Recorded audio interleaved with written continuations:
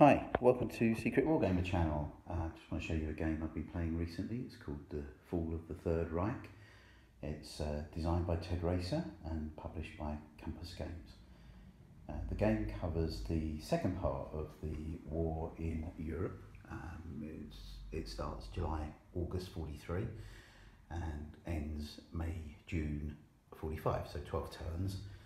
Um, the game comes with uh, a double size map.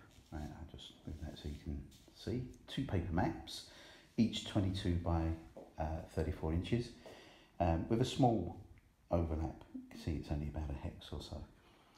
And it covers uh, Europe from as far east as uh, Kharkov and Kursk uh, to the west with Brittany, and in the south it goes as far as uh, Sicily and Greece. If you play uh, the historic uh, campaign, then uh, the, the game starts with a mandatory uh, German attack on Kursk, which uh, just about show there, and the Allies will land in Sicily. Non-historical scenario, sure how different it, it would be. The setup is the same. The units are set up in a predefined uh, order of battle and location. Uh, it's quite smart actually. Each unit has, if you see the top right hand corner there, has a setup location. Uh, there, uh, which obviously corresponds to one of the numbered hexes uh, on the map. So what else comes with it? Um, you get three uh, double-sided uh, player aid cards on a kind of like thin card stock. Um, I've run a couple through the copier and, and, laminated them just to just to keep my originals safe. Uh, the rule book runs about 35 pages, although a chunk, a fair chunk of that is a really useful um, example of play. Uh, as you can see, it's full colour and it's on that kind of a matte sort of finish rather than glossy paper uh, for those of you that, uh, that are interested in that sort of thing. Uh, so for a game that covers the strategic uh, level of the war in, in Europe, it, it's very straightforward, I think. Um, well, I found it to be so.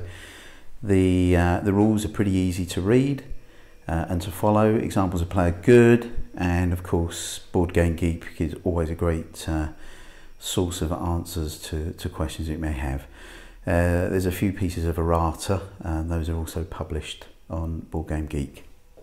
Let me show you some of the features of the map. Um, as you can see, there's basic turn record track, uh, units that are available, units that have been uh, destroyed.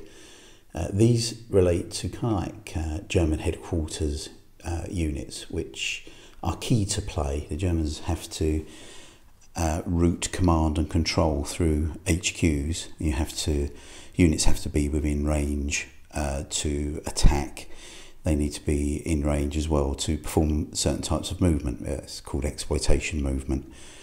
Uh, we have here uh, hexes that are outlined in red. Those are victory point hexes. Uh, and these ones with these kind of like uh, cog wheels also represent um, factory locations. Uh, and the German replacement uh, factors are dependent on uh, those factory hexes. Um, they receive a multiple um, per uh, hex. Uh, and the, the, hex has to be in supply and whatever. I won't go into the detail. Uh, but essentially, the Allies have opportunities in the air part of the game, which is slightly abstract, but they have opportunities to bomb these hexes, and depending on how much damage they do, uh, that affects the German rate of replacement. Uh, the Allies, Western Allies on the other hand, and the Soviets uh, have a set rates for re replacement points based on the year that we're playing. Um, let's show you these. These are beachhead locations and according to rulebook, they represent the first mile or so of the hex that's being invaded. Uh, let's find another example. So, for example, um, oh, yeah, this one's south of Rome. So that that um, represents the beachhead that was used for Anzio. Um, they're landing here, as you can see, in the marsh. You put on when you're doing your invasion. I won't go into it in too much detail, but you use these beachhead markers. I guess you can point them whatever way you like. Um, up until June 44, you can only attack with two corps out of one of these. But basically, you, you would stack up your invading forces along with any um, paratroop support and this is the hex that you would be invading. Now, interesting, and one of the things I, I really like about this game actually is uh, you don't just add up your uh, various combat factors uh, when invading, you use this table. Okay, so based on uh, terrain, um, whether there's a axis unit or two units in the hex, um, whether you've got air cover, whether you're using paratroopers, they all provide uh, die roll modifiers. So if you roll a modified roll of a 1, it's a failed invasion. Um, 2 to 3, you're hanging on by your fingernails. So uh, I've had one or two of those. 4 or 5 is a success. I, I would imagine this is this is kind of like the D-Day result in, in real life. And a 6 is an overwhelming success where the Allies can do quite a, a serious advance and, a, and, another attack after landing. Um, oh, here's the uh, replacement table I mentioned uh, earlier. As you can see, 43, 44, 45. And these are the number of points that uh, you get for uh, each turn in terms of replacements. And I tell you, you need them because the combat results table is, uh, is pretty brutal. Here's some example counters. Uh, as you can see, uh, Soviets are in their sort of classic red colour. Uh, we've got a, a mechanised unit here, and as is, I guess, pretty standard in these games. You can see it's four X's, so it's a, an army. Um, attack factor, defence factor, movement factor. Um, these things can shift, but of course, bear in mind that each turn is two months, so you'd expect them to shift. Um, there's the uh, setup. Ooh, get some focus. There's the setup uh, coordinate that I mentioned earlier. Um, we've got a British mechanised uh, unit here. You see the little letter E, I don't know if you can make that out actually in the top right hand corner. That shows that it starts in the England holding box. So that's getting ready to attack in uh, Northwest Europe. Uh, uh, what else have we got? Here's a French mechanized mountain corps. Uh, turns up on turn three, uh, top right hand corner, and the M is the Mediterranean holding box. So that would uh, be used either in Italy or attacking uh, south of France. You can move um, units between the Med and uh, England but you can't move from England back to the Med. So it's something to think about when you're uh, distributing your forces and getting ready for um, D-Day and uh, whatnot. And uh, again, here's a the US third mechanized, uh, sorry, second mechanized, and again, it starts life in in the Med. A couple of other interesting uh, counters here. Um, one over here actually he lost you. So here's a fort, and as you can see, like other counters, it has its uh, initial setup location. Uh, all forts start on the map. Okay, so even lines like defensive lines that perhaps came into effect in 1944 in Italy are already on the map. And the explanation that I've read for that is that it, it saves a big overhead uh, on building fort rules, etc. Um, not sure. I'm not sure how difficult it is to actually uh, uh, give a, a unit a, a, small penalty for stopping to, to uh, build a fort. But there you go. So they start set up, which you might like or you might not. Forts, by their nature, give uh, defensive shifts, so they're, they're, they're useful, particularly in Italy, where you have them, you know, stretched out across across the peninsula. Uh, I, I kind of showed that earlier. This is a beachhead hex. That big number two in brackets is because uh, up until up until the end of turn five, you can only invade with two corps. But from turn six, you flip it over and you can stack up to three corps. Uh, paras uh, can stack for free uh, up to a maximum of two. And the normal kind of you know, restrictions between US and other allied forces in terms of stacking, i.e., they can't. You can combine to attack, but you can't stack together. Um, except for the French, the French Free French unit does can stack with the Americans. Uh, yeah, that's probably about it. Um, three combat units can stack, uh, plus um, I think it's two divisions. I'd have to check. Sorry, but divisions you can you can stack three corps or three army, and then there's I think one or two divisions you can stack on top of that, which can lead to a pretty potent force. Um, so here's an example of a, an HQ unit, and the Germans have something like eight points that they can spend on HQ units, and they split between the West, OKW, and there's the equivalent for the East, OKH. Uh, these are critical, absolutely critical for the Germans. You'll see the number in the top right hand corner, 2 and town. So that means this uh, HQ has a, a, a command radius of two hexes from a town. Flick it over and it's doubled from a city. So it gives you quite a, an extensive range. And believe me, that's important because, as I mentioned earlier, it enables units to do certain things uh, like retreat from, oh, sorry, withdraw from an enemy hex, an, an enemy zone of control. So non a non-mechanized unit could do that. Uh, a mechanized unit would need to be in range to execute um, exploitation movement uh, and so on. Now these you, you keep them on the town side when they're when they're in their holding box, so they go one to four.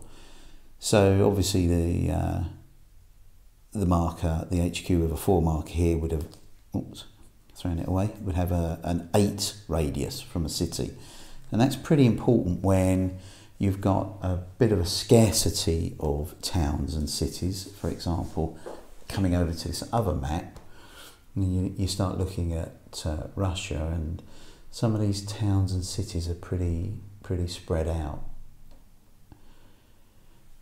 And I think that's one of the keys to bear in mind when you're playing as the Soviet. Uh, you've got to plan your offensives and, and really aim to take major cities uh, you also want to kind of punch holes in the German line so that you can exploit and get behind them and, and try and occupy towns and cities. But in the last game I played, which was much more successful for the Soviets, um, I just basically got the steamroller going and uh, forgot about using them to try and punch through. Just just really attrition the the German army to death. And uh, but you know, as I say, you have got to bear these these points in mind. Grab the, the cities. Allied supply is uh, handled through these counters, uh, SHAEF markers. Uh, that number three indicates how many hexes either from uh, the beachhead or a port town or city it can supply units for. So if we were to put this one in, in Naples, Naples has got a, a special ability. So this times four simply means that whatever strength SHAEF unit you put in here, its its supply range is, is four times what's printed. So this one would better supply units that are sort of 12 hexes away. And you have to trust me on that, that gets you up somewhere near Milan.